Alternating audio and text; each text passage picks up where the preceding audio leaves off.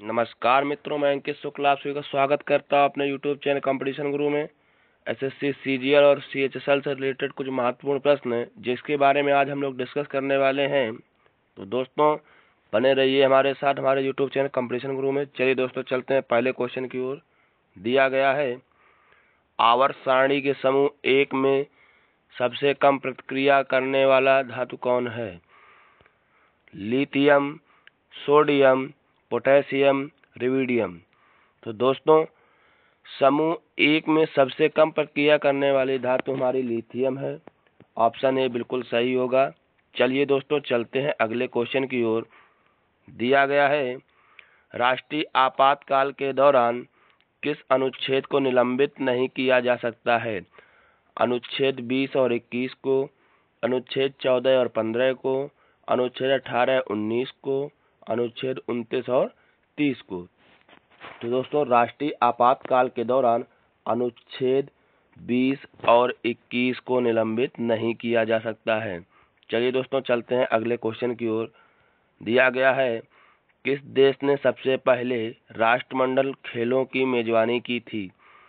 Bharat, Malaysia, Canada, Australia. तो दोस्तों, याद रखेंगे, सबसे पहले राष्ट्रमंडल खेलों की जो मेजबानी थी वो हमारी कनाडा ने की थी। चलिए दोस्तों, चलते हैं अगले क्वेश्चन की ओर। 2014 के फीफा विश्व कप में कुल कितने गोल थे? एक सौ इकहत्तर, दो सौ चार, एक सौ नब्बे, दो सौ बाईस।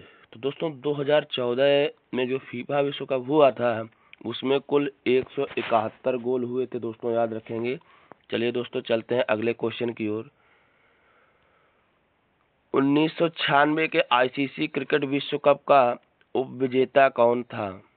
श्रीलंका, पाकिस्तान, भारत, ऑस्ट्रेलिया। तो दोस्तों, उन्नीस सौ छियानबे में जो विश्व कप हुआ था, उसका उपविजेता ऑस्ट्रेलिया थी। चलिए दोस्तों, चलते हैं अगले क्वेश्चन की ओर।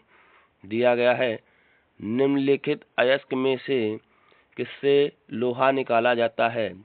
चूने के पत्थर, pitchblende monazite monazite haematite. तो दोस्तों, हेमटाइट जो होता है, इससे लोहा निकाला जाता है लोहे का अयस्क होता है। चलिए दोस्तों, चलते हैं अगले क्वेश्चन की ओर।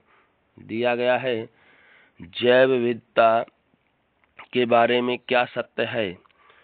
उष्ण कटबंधी क्षेत्रों में जैव विविधता सबसे अधिक है। जैव विविधता ग्रह पर आसमान रूप से बिखरा हुआ है। जैव विविधता में अनुवांशिक परिवर्तन शामिल है। इनमें से कोई नहीं। तो दोस्तों, ये कोई भी सही नहीं है, इसलिए इसका ऑप्शन डी बिल्कुल सही होने वाला है। चलिए दोस्तों, चलते हैं अगले क्वेश्चन की ओर।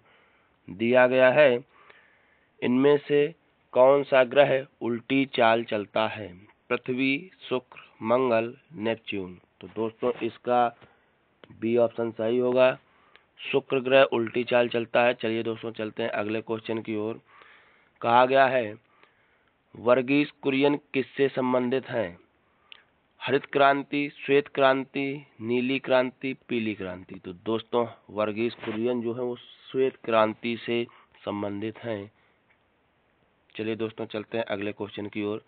दिया गया आंतरिक यान द्वारा इनमें से किस बौने ग्रह का दौरा किया गया?